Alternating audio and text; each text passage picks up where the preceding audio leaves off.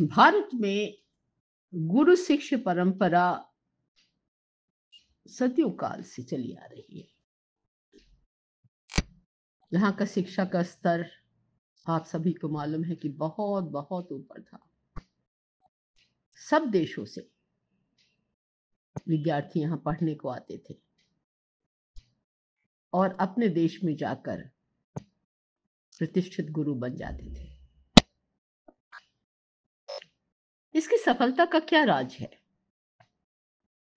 आज मैं दस प्रमुख बिंदुओं पर बात करूँगी। सबसे पहला बिंदु है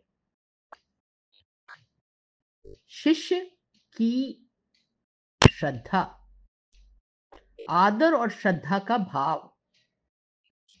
शिष्य का अपने गुरु के प्रति आदर और श्रद्धा ही इस परंपरा की मूल भावना है।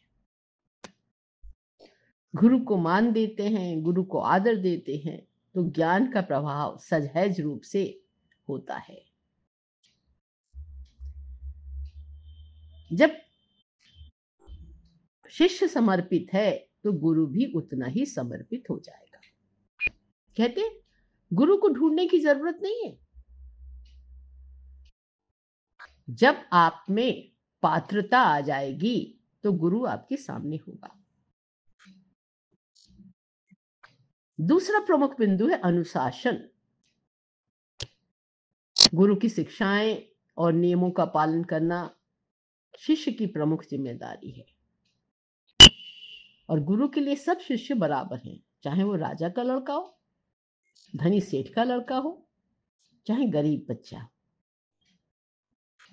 सबको अनुशासन का पालन करना होगा। अनुशासन से शिष्य में आत्मसंयम, आत्मविश्वास आता है और उसको हर परिस्थितियों में रहना आता है। तीसरी चीज़ है समर्पण और निष्ठा। इस परंपरा में शिष्य का गुरु और शिक्षा के प्रति पूर्ण समर्पण ज़रूरी है।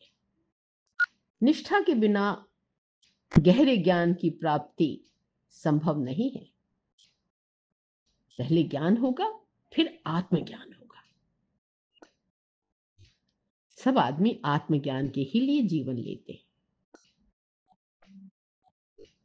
धैर्य और स्थिरता, ये भी दोनों चीज़ें बहुत इंपॉर्टेंट है।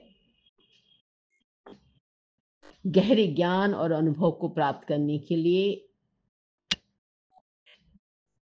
धैर्य और निरंतरता कंटिन्यूटी परसीवरेंस की आवश्यकता होती है।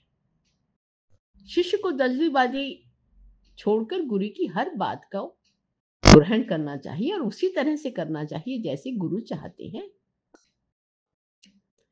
स्वयं को गुरु के प्रति समर्पित करना। शिष्य को अपनी व्यक्तिगत इच्छाओं को छोड़कर गुरु के मार्गदर्शन पे अपने व्यक्तित्व का निर्माण करना है। तभी शिष्य ऊंचाइयों को प्राप्त कर सकेगा। फिर आता है स्वाध्याय। स्वाध्याय भी बहुत इंपॉर्टेंट है। गुरु द्वारा ज्ञान को आत्मसात करने के लिए स्वाध्याय भी उतना ही महत्वपूर्ण है। इससे शिष्य का आत्मज्ञान और आत्मविश्वास बढ़ता है। गुरु का मार्गदर्शन और शिष्य का पालन। शिष्य का गुरु की शिक्षाओं का पालन करना आवश्यक होता है। गुरु का मार्गदर्शन ही शिष्य को सही दिशा में बढ़ने के लिए सहायक होता है। जब तक अच्छा गुरु नहीं मिले, आप सक्सेस को और ऊंचाइयों को नहीं प्राप्त कर सकते। आठवां बिंदु है सहजता और सरलता। इस परंपरा में अहंकार की कोई जगह नहीं है। इनफैक्ट अहंकार होगा तो आप ज्ञान नहीं प्राप्त कर सकते। गुरु और शिष्य दोनों का सहज और सरल होना सफलता का मूल मंत्र है। नवा प्रश्न पूछने पर और सीखने की खुली सोच होनी चाहिए।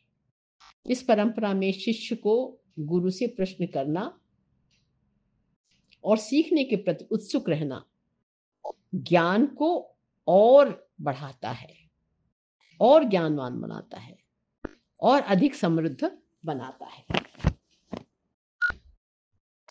लास्ट पॉइंट है ग्रेटिट्यूड गुरु के प्रति आभार। गुरु द्वारा प्रदान गई शिक्षा के प्रति आभार व्यक्त करना शिष्य का एक बहुत बड़ा कर्तव्य है। सारी ज़िंदगी उसको कृतज्ञ रहना है। ये परंपरा गुरु शिष्य के संबंध को और गहरा बनाती है। गुरु शिष्य परंपरा का यही आदर्श भारतवर्ष में आदिकाल से चला आया है।